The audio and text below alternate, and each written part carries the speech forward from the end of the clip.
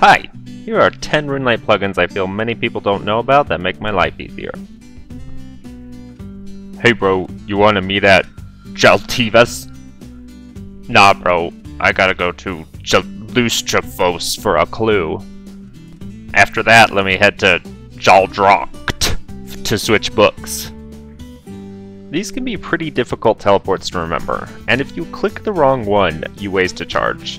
Use the Easy Teleports plugin to rename all of these to something easy. Speaking of charges, have you ever been halfway through a raid or busy killing gnomes and your trident has pooped out? Or maybe your skirt has broken? Item charges improved makes it so you know how charged your stuff is. This is also very nice for skillers to know how much compost you have, or if you're doing clues to know how many teleports you have on everything.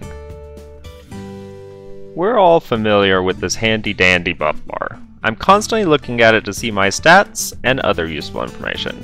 Because I'm constantly looking at it, it's nice to have time tracking reminders enabled.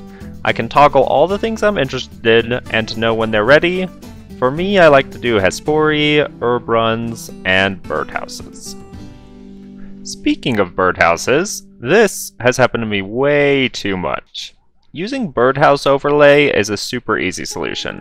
It color codes the house to let me know if I put my seed in it. Maybe I had a friend that wants to do Wintertodt. I know that I need to wear warm clothing, I just don't know what counts as that. I could spend my time looking it up, or I could just type this. And now I can select the most fashionable warm clothing from my bank. Oh no! A Charlie step again!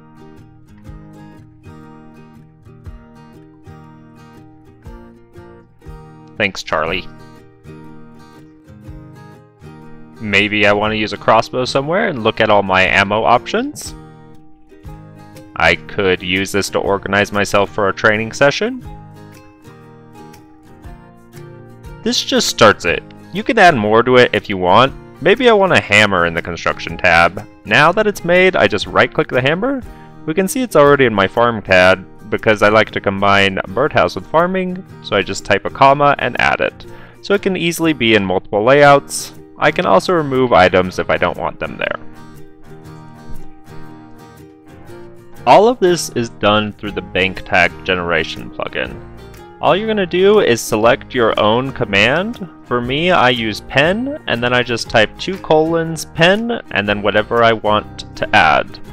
I've never been able to get the drops command to work. If you know how to do this, please let me know. The wiki has thousands of categories to pull from, so you can search the wiki for any category you're curious about.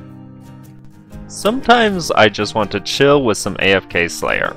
After a while, they stop attacking me though. The NPC aggression timer shows how long they'll be aggressive to me and exactly where I need to run for them to gain aggression again. There are options to hide it while you're not in combat, or only show it on a Slayer task if you don't want these yellow lines following you everywhere around the game.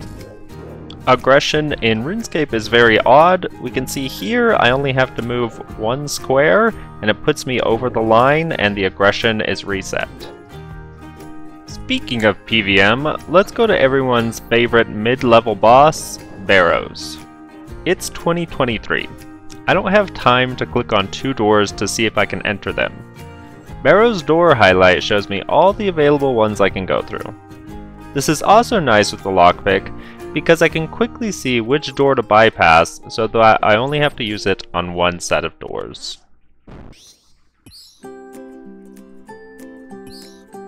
I'm rich. As an iron, I have issues with keeping too many items, because what if I will use that Dragon Two-Hander in the future? Turn this plugin on, and it gives you a color code for what type of clue they're used for, so you know if you should keep them. I'd like more bank space, but I can only spend so much gold on my bank. There has to be a better solution.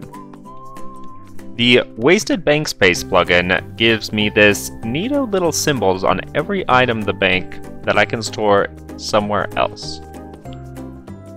It sure is a lot of fun to run through this maze. Using the shortest path plugin, it can tell me directly where to go.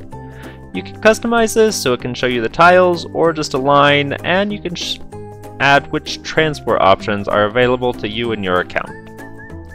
Let's say I got the clue step taking me to the edge of the Isle of Souls. It tells me to run to this fairy ring, put in this code, and run to the spot selected.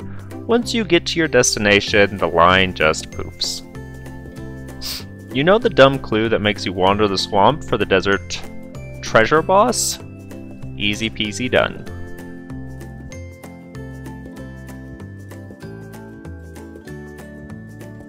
I wanted to include this one. I don't think it's a plugin, it's just a default feature of RuneLite that not a lot of people are aware of. If you have a clue step you get sometimes that you don't always remember, you can add a note to it.